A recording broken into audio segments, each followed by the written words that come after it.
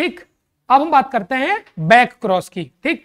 Back cross के अंदर दो चीज़ें आती हैं टेस्ट क्रॉस और आउट क्रॉस बैक का मतलब क्या होता है? पीछे। तो F1 जनरेशन को हमको किसके साथ क्रॉस कराना है? पेरेंट्स के साथ। समझ रहे मेरी बात को? हम लोग यहाँ पर क्रॉस किसके बीच में कर रहे हैं? F1 जनरेशन का क्रॉस किसके साथ करा रहे हैं? पेरेंट्स के साथ। ठीक? तो जब पेरेंट्स के साथ क्रॉस होता है किसका? F1 जनरेशन का। तो उसको क्या कहा जाता है? बैक क्रॉस मेरी बात समझना। सिंपल जब हम लोग F1 जनरेशन को पेरेंट्स के साथ क्रॉस कराते हैं तो क्या कहलाता है आपका? क्या कहलाता है? बैक क्रॉस बैक क्रॉस दो तरह से हो सकता है। अब पेरेंट या तो डोमिनेंट हो सकते हैं पेरेंट्स क्या हो सकते हैं? रेसेसिव यही तो होता है ना। प्योर टॉल मैंने लिया तो क्या हो जाएगा? डोमिनेंट प्योर डॉर्फ हमने लिया तो क्या हो जाएगा? रेसेसिव ठीक तो मेरी बात समझते रहना। ठीक, जब हम लोग दो, हमारे पास दो पॉसिबिलिटीज हैं। ठीक बैक क्रॉस का क्या मतलब होता है? पहली बात मेरी बताओ। बैक क्रॉस का क्या मतलब है? पेरेंट्स के साथ क्रॉस। F1 जनरेशन का क्रॉस किसके साथ? पेरेंट्स के साथ। तो उसको क्या बोलेंगे? Back cross. F1 जनरेशन का क्रॉस, पेरेंट्स के साथ तो क्या कहलाएगा? Back cross. अब मेरी बात समझना, बैक क्रॉस में कितनी पॉसिबिलिटीज आ सकती हैं? दो। या तो बैक क्रॉस किसके साथ कराया जाए? डोमिनेंट या तो क्या किसके साथ कराया जाए? रेसेसिव तो अगर मैं डोमिनेंट पेरेंट के साथ क्रॉस करूँगा तो उसको क्या बोलेंगे? आउट क्रॉस अगर मैं रेसेसिव पेरेंट्स के साथ क्रॉस करूँगा तो क्या बोलेंगे? टेस्ट क्रॉस समझे कि नहीं? ठीक, चलो मैं आपको इस डायग्राम में इसमें दिखा के बताता हूँ। आप लोग कंफ्यूज हो सकते हैं, ठीक? बहुत सिंपल सी चीज़ है, ठीक? सबसे पहले बैक क्रॉस की बात करते हैं। बैक क्रॉस बैक क्रॉस अब बैक क्रॉस को मैं आपको स्टार्टिंग से दिखाता हूँ। ये हमारे पास पेरेंट्स थे पेरेंट्स ठीक? पेरेंट्स थे। पेरेंट्स कैसे पेरेंट्स थे? ये क्या है? प्योर टॉल और ये हमारा पेरेंट्स क्या है? प्योर डॉर्फ हाँ या नहीं? ठीक तो हमने pure tall pure dwarf parents के बीच में क्रॉस कराया, हमको F1 जनरेशन क्या मिली? Capital T small T. ये हमारी कौन सी जनरेशन है? F1 जनरेशन कैसी है? Capital T small T. तो ये हमारा नॉर्मल क्रॉस था। अब इस क्रॉस को हम पेरेंट्स के साथ कराए, ठीक? अगर मैं अगर मैं F1 जनरेशन का क्रॉस किसके साथ करा दूँ? पेरेंट्स के साथ। तो इसको मैं क्या बोलूँगा? बैक क्रॉस क्या बोलेंगे? बैक क्रॉस दिमाग में बिठा लो कि F1 जनरेशन का क्रॉस जब पेरेंट्स के साथ कराया जाता है तो उसको क्या कहा जाता है? बैक क्रॉस ठीक, अगर मैं इस, इसको F1 जनरेशन को डोमिनेंट पेरेंट के साथ क्रॉस करा दूँगा तो ये क्या हो जाएगा? आउट क्रॉस और अगर मैं F1 जनरेशन को रेसेसिव पेरेंट के साथ करा दूँगा तो क्या हो जाएगा? टेस्ट क्रॉस समझे कि नहीं समझे? सिंपल चीज़ है कि नहीं? कि पेरेंट्स का क्रॉस किसके साथ? F1 जनरेशन के साथ. उल्टा बोल दे F1 जनरेशन का साथ क्रॉस किसके साथ? पेरेंट्स के साथ. तो उसको क्या बोलते हैं? बैक क्रॉस बैक क्रॉस के कितने टाइप हो सकते हैं? दो. अगर डोमिनेंट पेरेंट के साथ तो आउट क्रॉस रेसिसिव पेरेंट्स के साथ तो टेस्ट क्रॉस मैं सवाल पूछ रहा हूँ, आप जवाब देना, ठीक? F1 जनरेशन का क्रॉस पेरेंट्स के साथ, क्या बोलते हैं? F1 जनरेशन का क्रॉस डोमिनेंट पेरेंट के साथ. F1 जनरेशन का क्रॉस रेसिसिव पेरेंट के साथ टेस्ट क्रॉस सिंपल है कि नहीं? एकदम सिंपल ठीक, अब अब इसमें तुम्हारे रिज़ल्ट देख लो, ठीक? अब हमारा F1 जनरेशन कैसे थी? Capital T small T dominant parents कैसा था? कैपिटल टी और कैपिटल टी इसके गैमिट्स क्या बनेंगे? कैपिटल टी और स्मॉल टी इसके गैमिट्स क्या बनेंगे? कैपिटल टी सिर्फ़ क्या बनेगा? कैपिटल टी इसके बीच में क्रॉस ऐसे बना लो तो क्या बन सकता है? Capital T capital T capital T small T ठीक? तो जब आउट इसमें हम किसके साथ टेस्ट करा रहे हैं बताओ? आउट ये क्या है? आउट क्रॉस पेरेंट क्या है यहाँ पर? डोमिनेंट पेरेंट क्या है आपका? डोमिनेंट तो आपसे सवाल पूछा जा सकता है कि जब हम F1 जनरेशन का आउटक्रॉस करते हैं पेरेंट्स के साथ तो हमें सारे के सारे प्लांट्स कैसे मिलते हैं? टॉल सारे के सारे प्लांट कैसे मिलते हैं? टॉल यहाँ पे लिखी हुई बात है कि जब हम लोग F1 जनरेशन का क्रॉस करते हैं पेरेंट के साथ डोमिनेंट पेरेंट के साथ तो सारे के सारे प्लांट कैसे होते हैं? टॉल ठीक. अब हम टेस्ट क्रॉस की बात करते हैं तो टेस्ट क्रॉस में हम क्या देखते हैं कि हम लोग किसके साथ क्रॉस करा रहे हैं? रेसिसिव पेरेंट के साथ, ठीक? तो ये मान लो हमारा क्या था? F1 जनरेशन ये हमारी क्या है? F1 जनरेशन अब हम किसके साथ क्रॉस करा रहे हैं? किसके साथ? रेसेसिव पेरेंट्स के साथ, ठीक? तो यहाँ पर क्या आ जाएगा? कैपिटल टी और स्मॉल टी इसका गैमिट क्या आ जाएगा? स्मॉल टी क्या रिज़ल्ट बनेगा? दो। Capital T small T small T और स्मॉल टी तो यहाँ पर रेशियो क्या हो जाएगा? एक टॉल और एक डॉर्फ तो तुमसे सवाल पूछ लिया जाएगा कि टेस्ट क्रॉस का रेशियो क्या होता है? तो one ratio one one ratio one समझ में आ रही बात की नहीं? सिंपल है कि नहीं बताओ? ठीक तो यहाँ पर सारी बातें आपकी लिखी हुई हैं। फिर मेरी बात बता रहा हूँ, सवाल सुनते रहना, जवाब देना। सवाल कह रहा है कि जब हम लोग, जब हम लोग F1 जनरेशन का क्रॉस पेरेंट्स के साथ कराते हैं तो क्या बोलते हैं उसको? जब हम लोग F1 जनरेशन का क्रॉस डोमिनेंट पेरेंट के साथ कराते हैं तो आउट क्रॉस और जब आउट क्रॉस करते हैं तो सारे के सारे प्लांट्स कैसे होते हैं? टॉल ठीक? अब मैं बात करूँगा कि जब हम लोग F1 जनरेशन का क्रॉस रेसिसिव पेरेंट के साथ कराते हैं तो क्या होता है? टेस्ट क्रॉस और टेस्ट क्रॉस का रेशियो कितना आ जाता है? वन रेशियो वन क्लियर है कि नहीं? कोई डाउट ठीक तो वही सारी बातें इसमें लिखी हुई हैं। टॉल और डॉर्फ का रेशियो क्या हो जाएगा? वन रेशियो वन ठीक? तो यहीं पे सारी कहानी लिखी है कि जब one F one generation is cross with the parental gene it is known as back cross ठीक test cross also is the type of back cross. ठीक F1 generation is crossed with the recessive parent. Recessive parent के साथ तो back cross. Recessive parent के test cross ठीक अब monohybrid test cross का ratio क्या आ जाएगा? वन यहाँ पर हमने एक ही कैरेक्टर लिया ना? यहाँ पर हमने क्या लिया? एक ही कैरेक्टर तो मोनो हाइब्रिड टेस्ट क्रॉस का रेशियो क्या हो जाएगा? वन रेशियो वन सवाल जरा सा बदलेगा। सवाल जरा सा बदल रहा है। सवाल कह रहा है कि dihybrid tall red plant का क्रॉस कराया गया डार्क एंड व्हाइट के साथ। सवाल देखना। सवाल देखना, सवाल बिल्कुल समझना। आप सारी चीज़ें समझ में आ जाएँगे, ठीक? अब सवाल कह रहा है हमारा कि dihybrid tall and red तो dihybrid tall and red का जीनोटाइप क्या होगा? डाई हाइब्रिड ये क्या हो जाएगा आपका? डाई हाइब्रिड सुनते रहना। Dihybrid dihybrid tall and red. तो ये प्लांट क्या है आपका? Dihybrid tall and red. कोई दिक्कत है इसमें? पक्का है? ये प्लांट क्या है आपका? Dihybrid tall and red.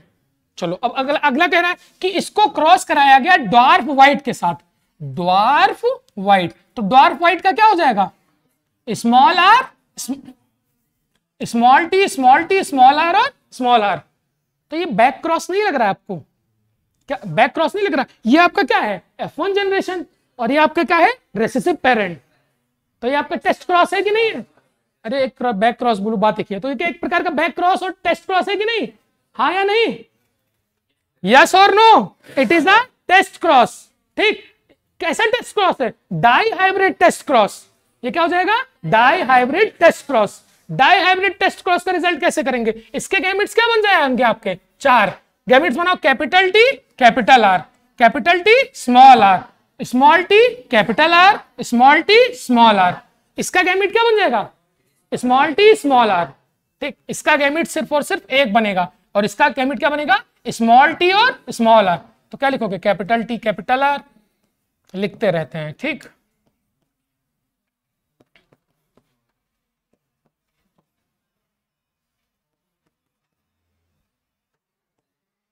अब ये क्या हो जाएगा आपका? टॉल रेड ये क्या हो जाएगा? टॉल रेड ये क्या हो जाएगा? टॉल व्हाइट ये क्या हो जाएगा? डॉर्फ रेड ये क्या हो जाएगा? डॉर्फ व्हाइट तो आपसे इसका रेशियो क्या हो जाएगा? One ratio one ratio one ratio one आया नहीं? ठीक तो अब मैं सवाल पूछ रहा हूँ, फटाफट सारे जवाब देना। जब हम लोग F1 जनरेशन को पेरेंट के साथ क्रॉस करते हैं तो क्या कहते हैं? Back cross F1 generation with parent back cross F1 generation with dominant parent out cross F one generation with recessive parent test monohybrid test cross का ratio one ratio one dihybrid test cross का ratio one ratio one ratio one ratio one clear और not पक्का?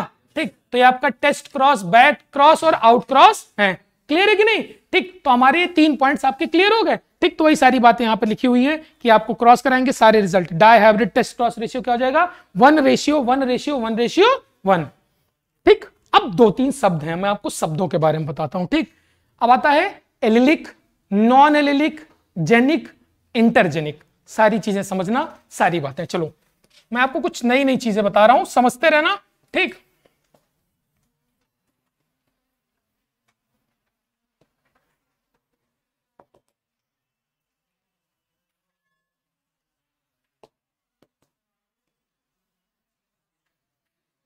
ये मैं तितलियाँ बना रहा हूँ। ये मैं क्या बना रहा हूँ? क्रोमोसोम। ठीक। ये मान लेता हूँ मैं एक क्रोमोसोम है, कौन सा क्रोमोसोम है? दो। दूसरा क्रोमोसोम। ठीक। चलो, मैं इस क्रोमोसोम को एक क्रोमोसोम मान ले रहा हूँ, एक क्रोमोसोम को दो क्रोमोसोम। अभी तक जो मैंने चीज़ें पढ़ी, अभी तक जो तुमने चीज़ें पढ़ी, वो सेम क्रोमोसोम के बारे में थी। सेम क्रोमोजोम सेम जीन्स के बारे में थी। मेरी बात समझना। अभी तक जो भी तुमने इंटरेक्शंस पढ़े हैं, वो शायद तुमने किसकी बात करूँ? मैं बात करता हूँ law of dominance law of segregation law of independent assortment को dominance incomplete dominance multiple allelism pleiotropy जो आपने सारी की सारी चीज़ें अभी पढ़ी हैं वो मेरी बात समझना। ये। अच्छा ये और ये ये दोनों सेम क्या हो जाएगा? सेम जीन ये क्या हो जाएगी आपकी? जीन एक जीन के कितने कैरेक्टर हो जाएँगे? दो। एक ये और एक ये, ये लेकिन दोनों क्या है? सेम जीन तो अभी तक तुमने जितनी भी चीज़ें पढ़ी, अभी तक तुमने जो जितनी भी चीज़ें पढ़ी वो आपने पढ़ी allelic. Allelic slash intragenic intragenic. Intra मतलब क्या? Within the same gene ना?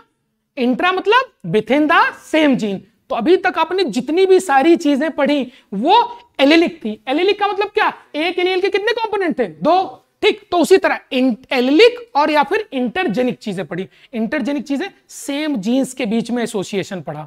सेम जीन्स के बीच में क्या पढ़ा आपने? एसोसिएशन तो इतने सरल सी बात आप याद रखो कि अभी तक जो आपने पढ़ा, वो किसके बीच में पढ़ा? सेम जीन्स किसके बीच में पढ़ा? सेम जीन्स अब मैं बात करूँगा, एक जीन यहाँ पर है और एक जीन यहाँ पर है। तो ये दूसरे क्रोमोजोम की जीन्स हो गई कि नहीं? और ये दूसरी जीन हो गई कि नहीं? हाँ या नहीं? ठीक, ये दूसरी जीन हो गई तो इसको मैं क्या लिख सकता हूँ? इंटरजेनिक क्या लिख सकते हैं? इंटरजेनिक इसका दूसरा क्या नाम क्या लिख सकते हैं? एलिलिक नॉन एलिलिक क्या लिख सकते हैं? Non allelic try to understand my point ठीक, मैं आपको कहना चाह रहा हूँ कि अभी तक जो आपने चीज़ें पढ़ी, वो सेम जीन्स के बारे में पढ़ी सेम जीन्स के बीच में पढ़ी। अभी तक जो तुमने इंटरेक्शन पढ़े, चाहे आपका चाहे आपके तीनों लॉज हो चाहे आपका कोडोमिनेंस हो, चाहे आपका इनकम्प्लीट डोमिनेंस हो, चाहे आपका मल्टीपलिज्म हो, चाहे प्लियोट्रोपी हो, अभी तक जो आपने पढ़ी, वो किसके बीच में पढ़ा? सेम जीन्स तो जब सेम जीन्स की बात करते हैं तो उसको कैसा इंटरेक्शन बोलते हैं? एलिलिक या फिर? इंट्राजेनिक लेकिन अभी जो हम इंटरेक्शन पढ़ेंगे, अभी जो हम इंटरेक्शन पढ़ेंगे, वो किसके बीच में पढ़ेंगे? दो अलग अलग जीन्स इसको क्या बोलेंगे? इंटरजेनिक या फिर नॉन एलिलिक ये उठाओ और लिखो सब लोग। पहले इसको लिख लो। ऐसे ही अलग अलग कलर का इस्तेमाल करना और लिखना। तो आप अगर बाद में देखेंगे तो आपको समझ में आएगा।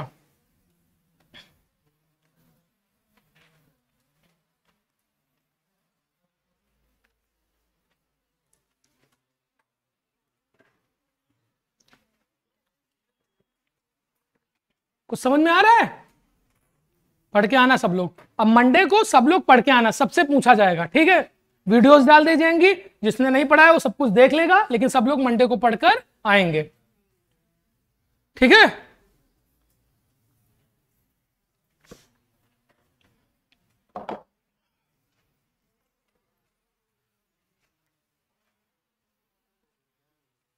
अभी तक हम लोग एक जीन्स के बीच में इंटरेक्शन की बात कर रहे थे। तो एक जीन के बीच में इंटरेक्शन को क्या बोल सकते हैं? एलिलिक या फिर इंट्राजेनिक अब हम लोग दो अलग अलग जीन के बीच में इंटरेक्शन की बात करेंगे। तो हम उसको क्या बोलेंगे? इंटरजेनिक या फिर नॉन एलिलिक ठीक, ये शब्द है इसीलिए मैं इस सबको समझा दे रहा हूँ। अब हम आगे चल के पढ़ेंगे सारे के सारे इंटरजेनिक या नॉन एलिलिक एक्शंस ठीक, दो डिफरेंट जीन्स जो अलग अलग क्रोमोजोम्स पे हैं, उसके बीच में इंटरेक्शंस की हम बात करेंगे। ठीक।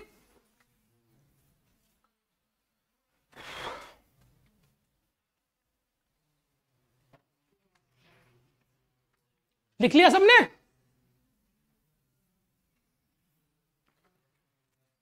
लिख लिया सबने?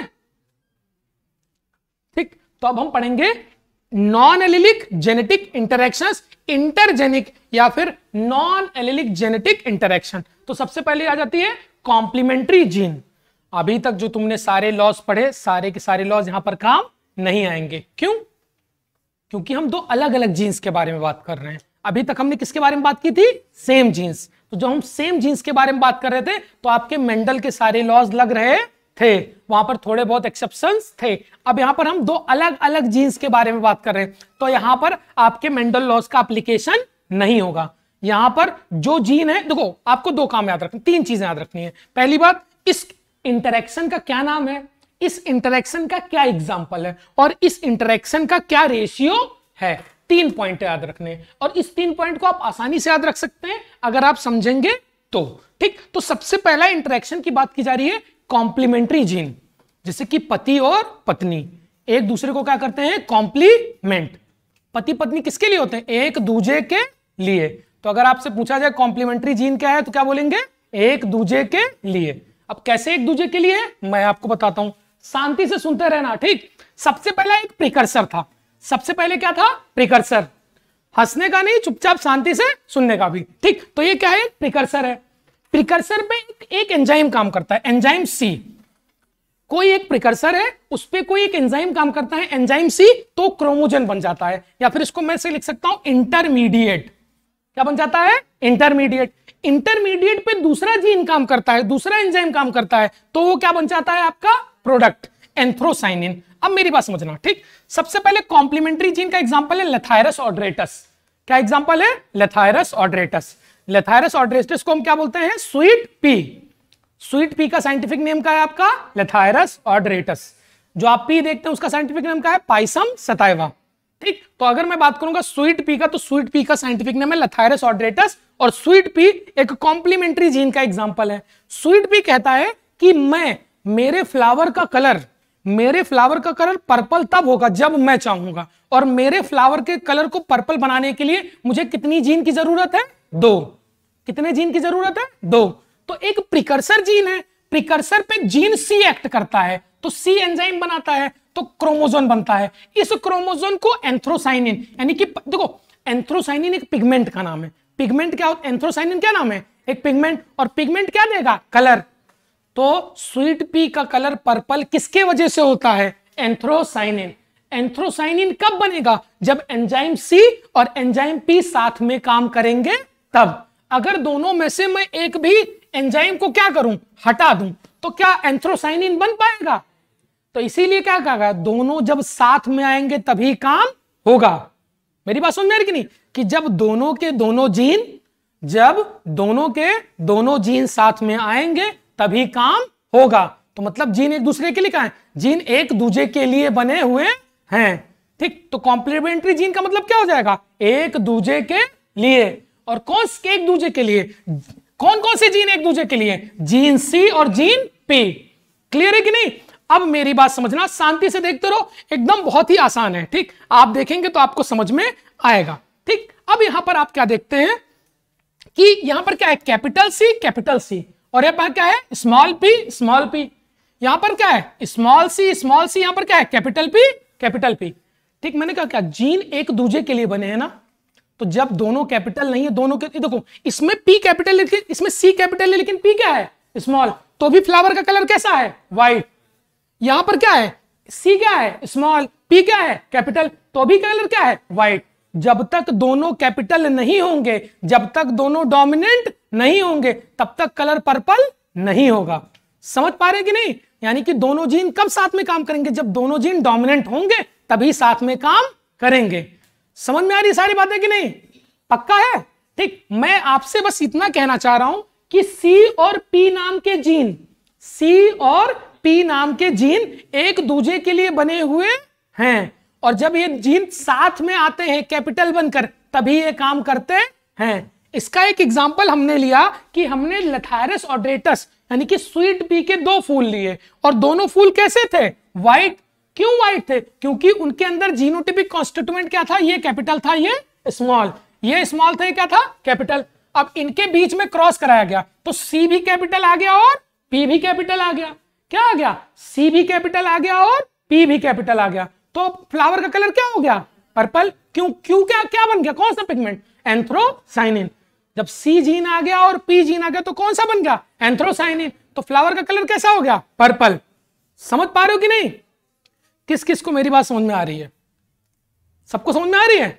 ठीक तो समझते रहना। मैं कहना चाह रहा हूँ कि जब तक सी और पी साथ में नहीं आएँगे, तब तक फ्लावर का कलर पर्पल नहीं होगा। यहाँ पर सी और पी साथ में नहीं आए, यहाँ पे सी और पी साथ में नहीं आए, लेकिन यहाँ पर सी और पी साथ में आ गए। फ्लावर का कलर क्या हो गया? पर्पल तो ये तो हमारी F1 जनरेशन थी। ये हमारी F1 जनरेशन थी। अब हमने क्या किया? ये हमारी F1 जनरेशन है। अब हमने F1 जनरेशन के बीच में क्या करा दी? सेल्फिंग क्या करा दी? सेल्फिंग सेल्फिंग का मतलब क्या है?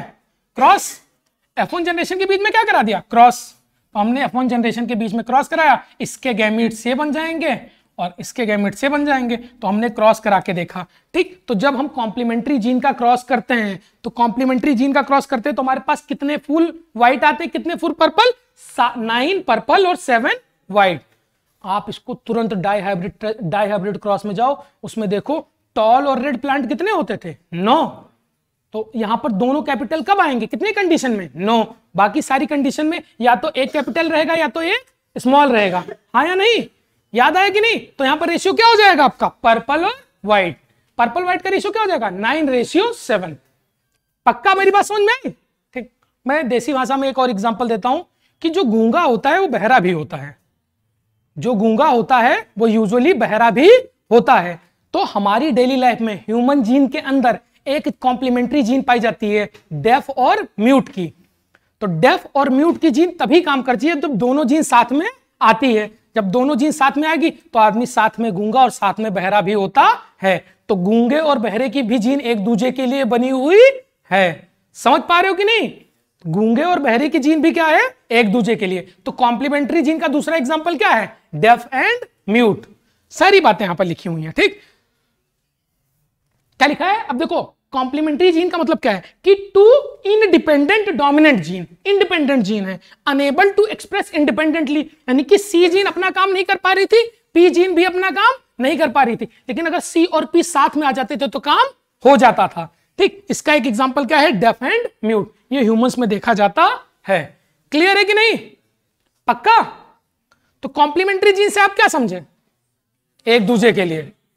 कॉम्प्लीमेंट्री जीन का मतलब एक दूसरे के लिए। ठीक, अगर मैं आपको कल याद दिलाऊं कि इनकम्प्लीट डोमिनेंस का मतलब क्या था? ना तेरा, ना मेरा। यानी कि बीच का, यानी कि क्या हो जाएगा? पिंक को डोमिनेंस का मतलब क्या था? तेरा भी और मेरा भी। तो क्या यानी कि रोन। व्हाइट और रेड दोनों के पैचेस अगर मैं बात करूँगा कॉम्प्लीमेंट्री जीन की तो एक दूसरे के लिए, यानी कि दोनों जीन साथ में आएँगी तभी काम होगा. क्लियर है कि नहीं? समझ में आ रही बातें? ठीक तो अब एक सवाल है, सवाल करके दिखाओ. सवाल ही है, सवाल आता है, सवाल करते रहे. देखो, जितने सवाल करोगे, उतनी अच्छी जेनेटिक्स आपकी रहेगी. मैं कह रहा हूँ कि कॉपी में जितनी चीज़ें लिखी हुई हैं, इतनी अगर आप याद रहेंगी तो आपके मैक्सिमम सवाल हो जाएँगे. लेकिन आप सवाल गलत कर दोगे, अगर आप सवाल की प्रैक्टिस नहीं करोगे तो। अब ये सवाल कह रहा है कि सी और पी जीन एसेंशियल होती है पर्पल कलर के लिए, लेकिन अब क्या रेशियो होगा अगर इन दोनों के बीच में क्रॉस कराया जाए तो?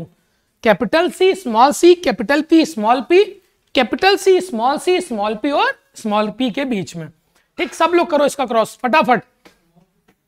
लास्ट में स्मॉल पी स्मॉल पी है।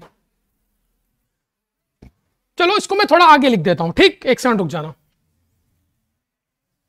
आप लोग मुझे बताना।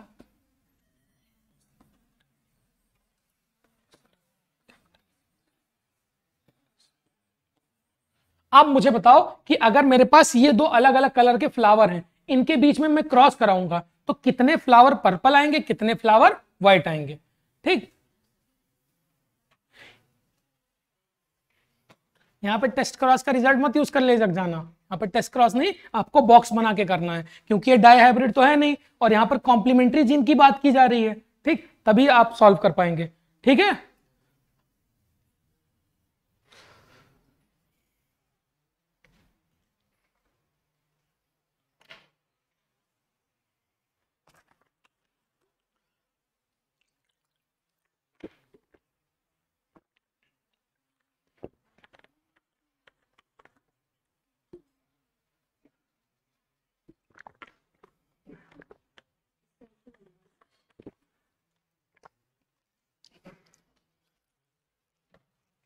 ध्यान से एक नहीं बनेगा, ठीक है? शांत रहो, ध्यान से करो, बातचीत मत करो। अच्छा जो मैं बॉक्स बनाता हूँ, इस बॉक्स को क्या नाम दिया जाता है? पनेट स्क्वायर बॉक्स को क्या बोलते हैं? पनेट स्क्वायर साइंटिस्ट का नाम है। पनेट स्क्वायर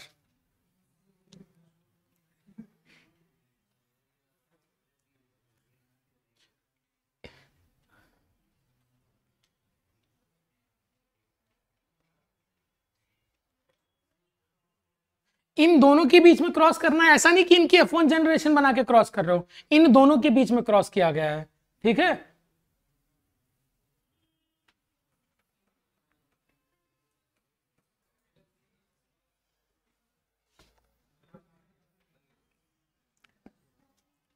देखो, बड़ा आसान है। ठीक? बहुत ही आसान है। ठीक है? बहुत ही आसान है। कैसे आसान है? इसके कितने गैमेट बनेंगे? दो कैसे बन रहे थे? इसके कितने? इसके दो। इसके चार गैमेट्स क्या बन जाएँगे बताओ? Capital C capital P capital C small P small C capital P small C small P कोई दिक्कत? ठीक, इसके गैमिट्स क्या बन जाएँगे? Capital C small P capital C small C small P ठीक, अब फटाफट सॉल्व कर लो। आ गया? ठीक तो इसका रिज़ल्ट क्या आया बताओ। क्या क्या रिज़ल्ट आएगा? पाँच रेशियो तीन। अब तुम निकालो, पाँच रेशियो तीन, कैसे आएगा? देखो, इसमें capital C capital C capital P small P capital C small C capital P small P ठीक capital C capital C small P small P capital C small C जहाँ पे गलत होगा बताना, ठीक? Small P small P capital C small C capital capital हाँ capital, रुक जाओ just a second capital C small C capital P small P small C small C capital P small P capital C small C small P small P capital C small C small C small P और small P अब यहाँ पर तुम्हें क्या देखना है कि कौन कौन से में कैपिटल सी और small capital C, capital P साथ में आए हैं। ठीक? मैंने क्या बोला, जीन क्या है? एक दूजे के लिए। तो एक दूजे के लिए कैसे बनेगी? जब सी और पी कैपिटल में साथ में आएँगे। इसमें सी और पी है कैपिटल? हाँ या नहीं? इसमें सी और पी कैपिटल है? हाँ और एक जगह और होगी, यहाँ पर। ठीक? क्या? तीन जगह। तो तीन जगह क्या हो जाएगी? सी और पी क्या हो जाएँगे? साथ में। ठीक? तो white white by white by purple white by purple का रेशियो कितना आएगा? फाइव रेशियो थ्री ठीक? क्या रेशियो आएगा? फाइव रेशियो थ्री आ गया कि नहीं? तुम कहाँ सॉल्व कर रहे थे? ये कौन सा क्रॉस था भैया? तुमने क्या किया? दिखाओ दो। सही से क्रॉस करो। सिंपल क्रॉस था कि नहीं था? ये क्रॉस कितने लोगों ने किया? ईमानदारी से बताओ। ये ऐसे ही क्रॉस ठीक? अब तुम लोग ने हो सकता है एक आध गैमिट ज़्यादा बना दिए हूँ। हाँ या नहीं? क्लियर है कि नहीं? ठीक तो हमारे ये हो गया कॉम्प्लीमेंट्री जीन क्लियर है कि नहीं? समझ में आ रहा है कुछ? भले ही देखो, आज जाके पढ़ना, ठीक? मंडे को आके पूछना, मैं फिर से बताऊँगा, ठीक? जितने भी डाउट्स होंगे इस चैप्टर के, मैं दस बार बताऊँगा, पर आप लोग गलत बिल्कुल भी मत पढ़ना, ठीक? अगर मुझे नहीं आएगा तो मैं पढ़ के पढ़ाऊँगा। पर आप लोग को गलत नहीं पढ़ना इस चैप्टर में। ठीक? अब आगे की बात करते हैं।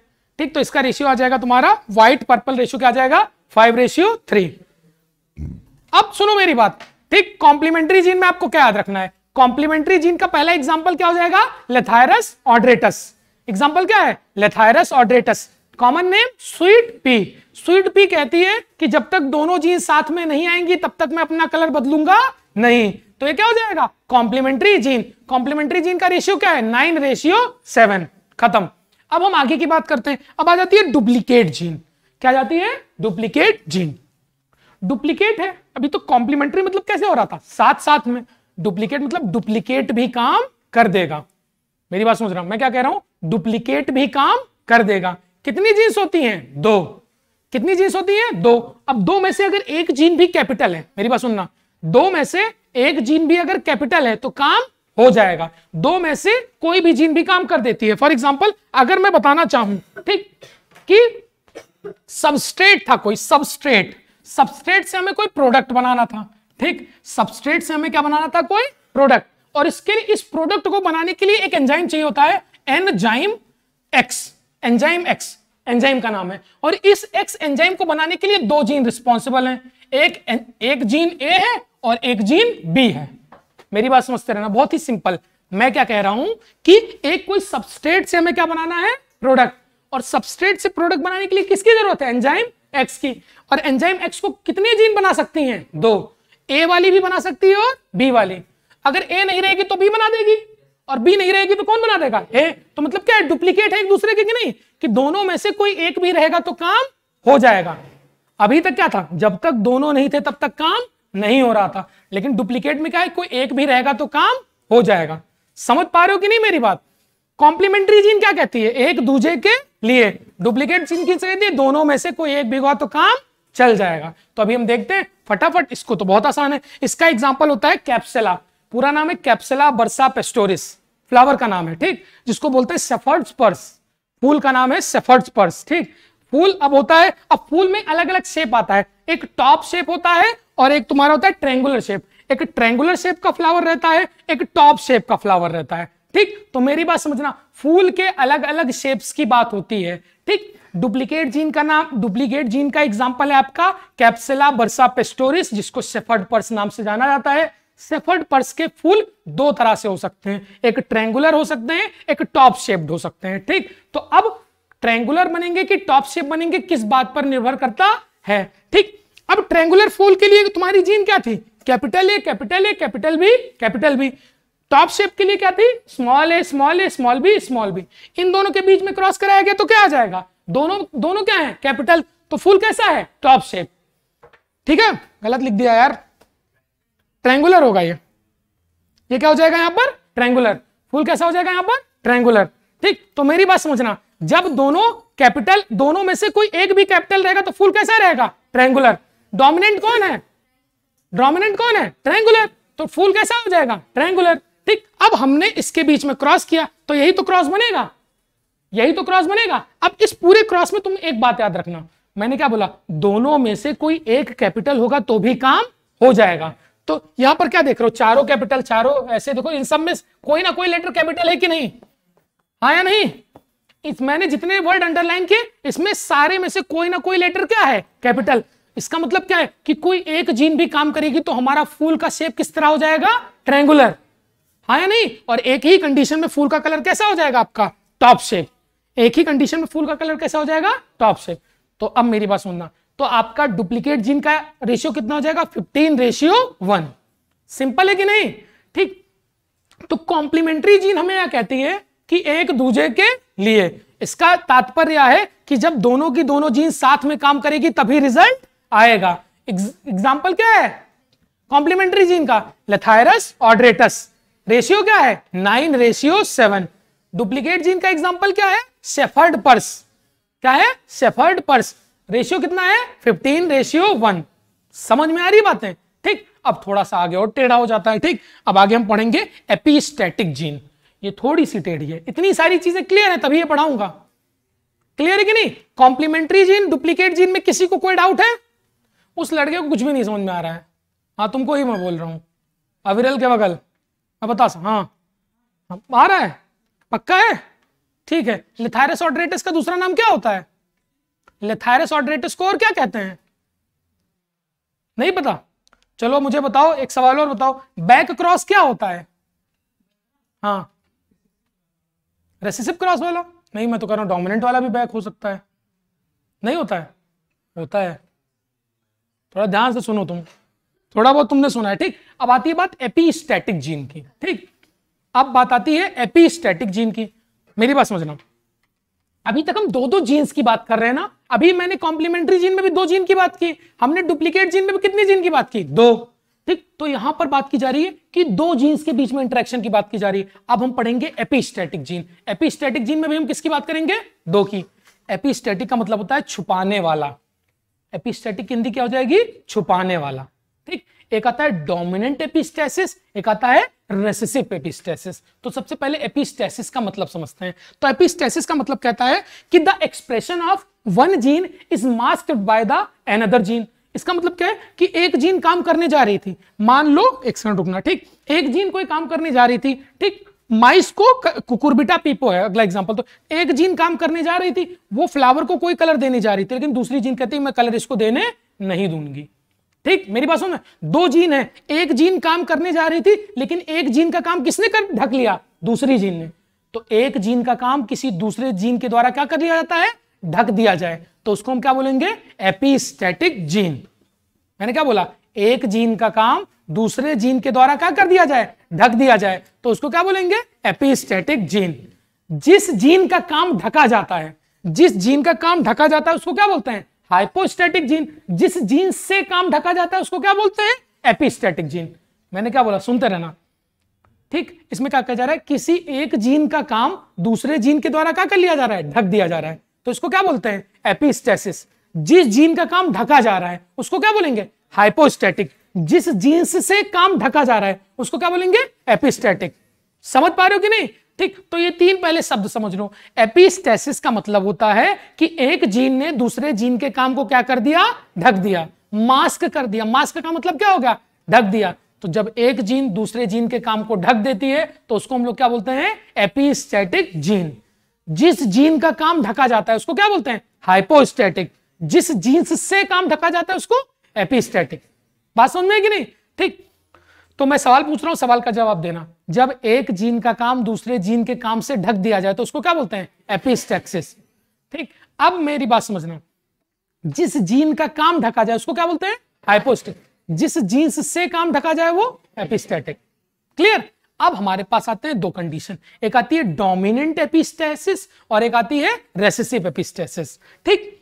अब हम सबसे पहले बात करते हैं डोमिनेंट एपिस्टेसिस की. डोमिनेंट का मतलब क्या हो जाएगा? डोमिनेंट वाला किसको ढक लेगा? बाकी सारे को. रेसेसिव वाले में क्या हो जाएगा? रेसेसिव वाला ढकेगा. हाँ या नहीं? डोमिनेंट वाले में कौन ढकेगा? डोमिनेंट रेसेसिव वाले में कौन ढकेगा? रेसेसिव सिंपल सिंपल सिंपल समझते रहना, ठीक? तो when epistatic gene is dominant यानी कि जब जो ढकने वाली जीन थी वो डोमिनेंट थी और ये इस इसका काम ये ढक दे। एग्ज़ाम्पल देखोगे तो समझ में आएगा। इसका एग्ज़ाम्पल है कुकुरबिटा पीपो। कुकुरबिटा पीपो एक फ्रूट होता है फ्रूट के कलर की बात करते हैं, ठीक? कुकुरबिटा पीपो को हम बोलते हैं नॉर्मल नाम में समर स्क्वैश ठीक? समर स्क्वैश एक फ्रूट का नाम है, ठीक? अब मेरी बात समझ में आया वाई कलर होता तो फूल का कलर कैसे आ जाता? येलो वाई स्मॉल वाई होता तो ग्रीन लेकिन अगर डब्लू आ जाएगा तो क्या है? एपिस्टैटिक जीन तो डब्लू कैसा कलर दे देगी? व्हाइट मेरी बात समझना. इस फूल के अंदर कितने कलर हो सकते हैं? तीन. कैपिटल वाई रहेगा तो कैसा कलर आएगा? येलो कैपिटल वाई तो येलो स्मॉल वाई तो ग्रीन और डब्लू आ जाएगा तो व्हाइट डब्लू आ जाएगा व्हाइट अब इसमें समर स्क्वेस के अंदर हमने क्रॉस किया. किसके बीच में क्रॉस किया? व्हाइट और ग्रीन अच्छा बताओ. यहाँ पर कैपिटल वाई है? यहाँ पर क्या है? कैपिटल वाई कलर क्या होना चाहिए था? येलो लेकिन इसके काम को किसने ढक दिया? कैपिटल डब्ल्यू ने।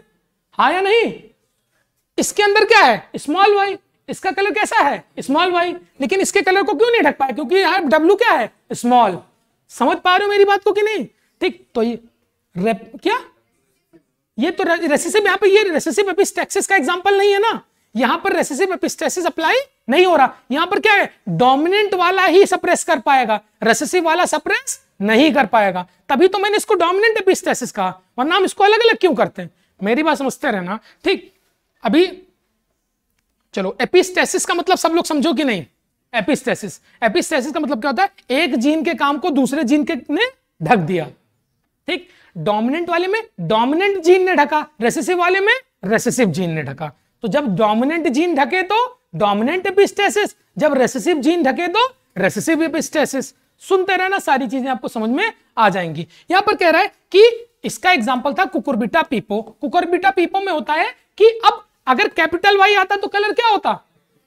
स्मॉल वाई आता तो ग्रीन लेकिन अगर कैपिटल डब्ल्यू आ गया तो कलर क्या हो जाएगा? व्हाइट कैपिटल डब्ल्यू आ जाएगा तो कलर व्हाइट ठीक तो यहाँ पर देखो व्हाइट फ्लूल को हम किसके साथ क्रॉस करा रहे हैं? ग्रीन के साथ।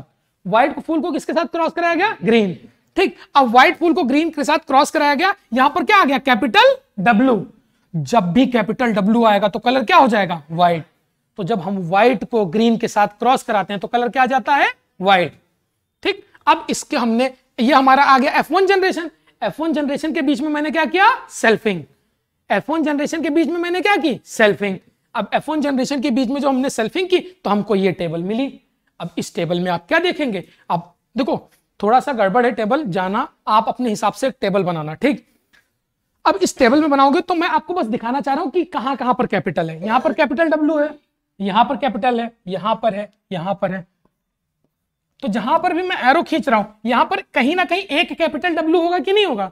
और अगर एक भी कैपिटल डब्ल्यू होगा तो फूल का कलर कैसा हो जाएगा? व्हाइट एक भी कैपिटल डब्ल्यू है तो फूल का कलर कैसा है? व्हाइट यानी कि एपिस्टैटिक जीन ने किसके काम को ढक लिया? हाइपोस्टैटिक जीन के काम को। ठीक? फूल का कलर यहाँ पर क्या होना चाहिए था? येलो लेकिन इसने क्या कर लिया? काम को ढक दिया। यहाँ पर भी क्या होना चाहिए था? येलो लेकिन इसने इसके काम को क्या किया? ढक दिया। यहाँ पर कलर क्या होना चाहिए था? ग्रीन लेकिन इसके, इसने इसके काम को क्या कर दिया? ढक दिया। तो जब भी कोई डोमिनेंट जीन हमारे काम को ढक दे तो उसको क्या बोलेंगे? डोमिनेंट एपिस्टेसिस और जहाँ पर भी कैपिटल डब्ल्यू होगा, वहाँ पर कलर कैसा हो जाएगा? व्हाइट यहाँ पर आप देखें, यहाँ पर सब जगह क्या है? स्मॉल डब्ल्यू लेकिन अब स्मॉल डब्ल्यू में दो चीज़ें हैं। यहाँ पर क्या है? कैपिटल वाई यहाँ पर भी क्या है? कैपिटल वाई यहाँ पर भी क्या है? कैपिटल वाई तो इन तीनों फूल का कलर क्या हो जाएगा? येलो और इस फूल का कलर क्या हो जाएगा? ग्रीन बात समझ में आ रही कि नहीं? तो अगर आपसे पूछे कोई कि डोमिनेंट एपिस्टेसिस का एग्ज़ाम रेशियो क्या होता है? तो 12 रेशियो थ्री रेशियो वन ठीक? व्हाइट येलो और ग्रीन समझे कि नहीं? क्लियर है कि नहीं? समझने वाली सिंपल सी चीज़ थी कि नहीं? ठीक तो आप क्या देख रहे हैं? ठीक, देखो, इसके बीच में किस किस के बीच में क्रॉस किया गया तब छोड़ देना। ठीक, सिर्फ़ और सिर्फ़ रेशियो पे फोकस करना, ठीक है? सिर्फ़ और सिर्फ़ रेशियो पे और कॉन्सेप्ट क्या कहना चाह रहा है, उस पर ठीक तो अभी तक मैंने आपको तीन चीज़ें बताई हैं। अभी तक मैंने आपको सबसे पहले बताया कौन सा? क्या बताया मैंने? कॉम्प्लीमेंट्री जीन फिर मैंने क्या बताया आपको? डुप्लीकेट जीन फिर कौन सी? डोमिनेंट एपिस्टेसिस तो कॉम्प्लीमेंट्री जीन में क्या हो रहा था? दोनों जीन साथ में आ रहे थे, तभी काम हो रहा था। रेशियो क्या था? नाइन रेशियो सेवन ठीक? डुप्लीकेट जीन में दो में से कोई एक जीन भी काम कर रहे थे तो क्या आ जा रहा था? रिज़ल्ट पॉजिटिव रेशियो क्या था? पंद्रह रेशियो एक। डोमिनेंट जीन में क्या था? कि डोमिनेंट जीन हाइपोस्टेटिक जीन को क्या कर रही थी? ढक। तो रेशियो क्या आ रहा था? बारह, तीन, एक। क्लियर अब हम अगली बात करते हैं रेसेसिव एपिस्टेसिस की। किसकी बात करेंगे? रेसेसिव एपिस्टेसिस की। ठीक? तो when recessive epistatic gene mask the hypostatic gene यहाँ पर जब कंडीशन रेसेसिव होगी, जब कंडीशन क्या होगी? रेसेसिव तभी काम हो पाएगा। अब यहाँ पर देखें, अब यहाँ पर माइस की बात आ जाती है। माइस ठीक? कोट कलर ऑफ़ माइस चूहे के रंग। ठीक? तो चूहे का रंग मतलब सी मतलब क्या था? कलर्ड कलर्ड मतलब ब्लैक कलर का। ठीक? एगाउटी एगाउटी का मतलब क्या हो जाता था? ग्रे ठीक? और ये हमारी क्या थी? एपिस्टेटिक जीन ठीक तो अभी यहाँ पर देखें, ये देखो। चूहे के रंग की बात आती है। चूहे का रंग तीन तरह से हो सकता है। या तो ब्लैक कलर का, या तो ग्रे कलर का, या तो आपका व्हाइट कलर का। ठीक, चूहे के कितने रंग हो सकते हैं? तीन। वैसे अलग अलग ब्राउन ब्राउन अलग अलग प्रजाति है। मतलब मैं एक प्रजाति की रिस्पेक्ट की बात कर रहा हूँ, ठीक? तो अब मेरी बात समझना इसमें, ठीक? कलर्ड माइस कलर्ड माइस का मतलब क्या था? उसका कलर कैसा था? ब्लैक ठीक तो ब्लैक कलर को किसके साथ क्रॉस कराया गया? व्हाइट ब्लैक को किसके साथ क्रॉस कराया गया? व्हाइट ये व्हाइट क्यों है? कि ये कौन सी जीन है? रेसेसिव रेसेसिव जीन इसके इफ़ेक्ट को क्या कर लेगी? कैंसिल कर देगी। तो कलर क्या हो जाएगा? व्हाइट यहाँ पर ये रेसेसिव नहीं है। तो इसके कर, काम को ढक नहीं पाएगा। समझ पा रहे हो कि नहीं? ठीक तो सिंपल देखो जब क्रॉस करोगे तभी समझ में आएगा ठीक?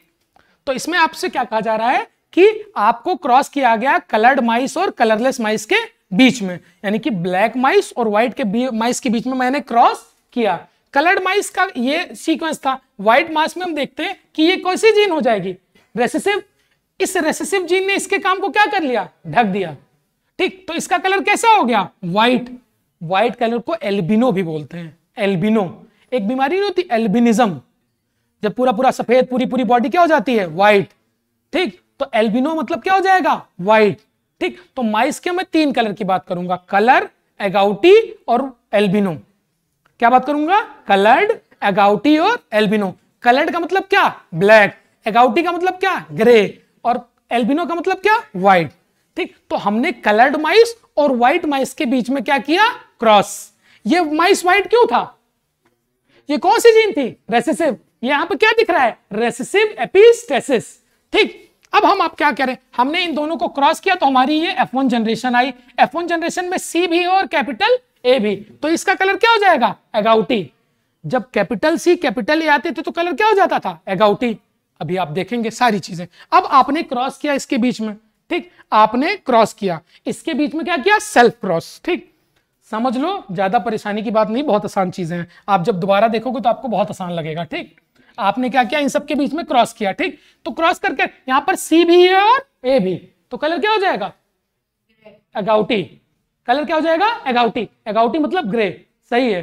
ठीक? यहाँ पर भी सी और ए है तो कलर कैसा हो जाएगा? एगाउटी यहाँ पर भी सी और ए है तो एगाउटी यहाँ पर सी और ए है तो एगाउटी यहाँ पर भी सी और ए है तो एगाउटी कैपिटल की बात कर रहा हूँ। यहाँ पर कैपिटल सी है, पर कैपिटल ए नहीं है। तो यहाँ पर ये कैसा कलर हो जाएगा? कलर्ड ये क्या हो जाएगा? कलर्ड क्योंकि यहाँ पर कैपिटल क्या है? सी ठीक, यहाँ पर कैपिटल सी और कैपिटल ए तो कलर क्या हो जाएगा? एगाउटी यहाँ पर कैपिटल सी है, लेकिन स्मॉल ए है तो कलर कैसा हो जाएगा इसका भी? कलर्ड ठीक, यहाँ पर क्या है? Capital A capital C capital C capital C ठीक, इसका भी क्या? एगाउटी अब मेरी बात समझना, अब जो बाकी बचे, जिसमें कैपिटल सी के साथ स्मॉल ए आ रहा है तो कलर क्या हो जाएगा? कलर्ड अब यहाँ पर देखो, ये कैपिटल सी है कि नहीं? स्मॉल सी है। ये दोनों भी स्मॉल सी है, ये भी है सब। अब ये इसके काम को क्या कर देंगे? ढक देंगे।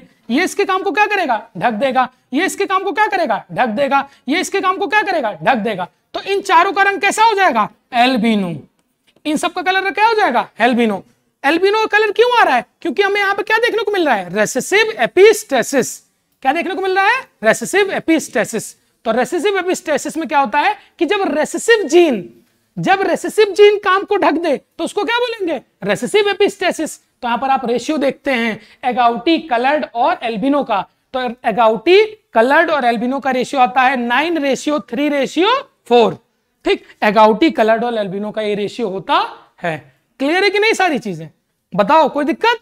ठीक? तो अभी तक जो हमने चीज़ें पढ़ी, वो आप बताते रहना। सबसे पहले हम आज अभी हमने जो बात की, हमने बात की इंटरजेनिक एंटरजेनिक या फिर non allelic non allelic interaction की, ठीक? तो नॉन एलिलिक इंटरेक्शन हमने देखे, ठीक? अब intergenic and non allelic interaction में मैंने सबसे पहले क्या देखा? कॉम्प्लीमेंट्री जीन क्या देखा? कॉम्प्लीमेंट्री जीन कॉम्प्लीमेंट्री जीन में हम क्या कहते हैं? एक दूसरे के लिए कॉम्प्लीमेंट्री जीन कॉम्प्लीमेंट्री जीन का रेशियो क्या है? Nine ratio seven complementary gene का रेशियो क्या है? नाइन रेशियो सेवन ठीक? नाइन क्या है आपके? पर्पल और सेवन क्या है आपके? व्हाइट ठीक, ऐसे भी याद करते रहना। दूसरी चीज़ हमने क्या देखी आपकी, बताओ? डुप्लीकेट क्या देखी? डुप्लीकेट डुप्लीकेट जीन में क्या था? दोनों में से कोई एक जीन भी काम कर रही थी। तो रेशियो क्या था आपका? 15 रेशियो वन इसका क्या था? ट्रायंगुलर और ये क्या था? टॉप याद है कि नहीं? ठीक एग्ज़ाम्पल भी याद कर लेना। इसका एग्ज़ाम्पल आपका क्या हो जाएगा? स्वीट पी इसका एग्ज़ाम्पल क्या हो जाएगा आपका? Capsella bursa, pastoris shepherd, purse. तीसरा एग्जांपल आपने क्या देखा? डोमिनेंट डोमिनेंट एपिस्टेसिस ठीक? डोमिनेंट एपिस्टेसिस चौथा आपने देखा? रेसेसिव एपिस्टेसिस डोमिनेंट एपिस्टेसिस का एग्जांपल क्या था? Cucurbita pepo. रेसेसिव एपिस्टेसिस का coat colour of mice dominant epistasis का रेशियो क्या था?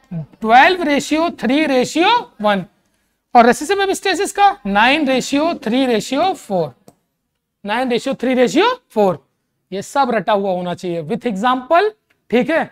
विथ एग्ज़ाम्पल और विथ रेशियो मंडे को सारी चीज़ें सुनूँगा। सब कुछ। एक एक जीन एक एक का रेशियो देखो मैं बताऊँ, अगर नहीं पढ़ोगे ना अभी तो समझ में नहीं आने से रहा। ये समझ में नहीं आएगा। बहुत आसान चीज़ है, पर ये सारी चीज़ें समझ में नहीं आएँगी। और कुछ रेशियो आपको डायरेक्टली रट लेने हैं, जैसे कि यहाँ पर कुछ रेशियो लिखे हुए हैं। ठीक? सबसे पहले लिखा हुआ है supplementary gene nine six one नहीं nine three four supplementary gene और रेसिसिव एपिस्टेसिस क्या है? Same polymeric gene 961 inhibitor gene तेरह तीन. कोलेबोरेटर जीन 9331 तो ये सारी चीज़ याद कर लेना। इन सब चीज़ों के बारे में जानने की ज़रूरत नहीं है। एक बार सप्लीमेंट्री जीन्स का रेशियो पूछा गया था। इससे ज़्यादा इसमें से पूछा नहीं गया है। ठीक? तो मंडे को अभी तक हमने जीन्स की बात की। अभी तक हमने बात की कि जीन्स की क्वालिटी के बारे में। अभी तक हमने जितनी चीज़ें पढ़ी जीन्स की क्वालिटी पढ़ी। मैंने ये नहीं कहा कि तुम्हारे पास पाँच में से चार जीन आ जाएँगे तो अब हम जीन की क्वांटिटी पढ़ेंगे। मेरी बात समझो, मेरी हाइट 170 सेंटीमीटर है। किसी की हाइट 190 सेंटीमीटर हो सकती है। मेरा आईक्यू 110 है। किसी का आईक्यू 170 हो सकता है। तो ये आईक्यू इंटेलिजेंस हाइट बॉडी का कलर ये सब किस बात पे डिपेंड करता है? जीन की क्वालिटी पे नहीं डिपेंड करता। जीन की क्वांटिटी पे डिपेंड करता है। तो नेक्स्ट क्लास में हम बात करेंगे कि जीन की क्वालिटी के बजाय जीन की क्वांटिटी की। ठीक? Quantitative analysis of the genes ठीक?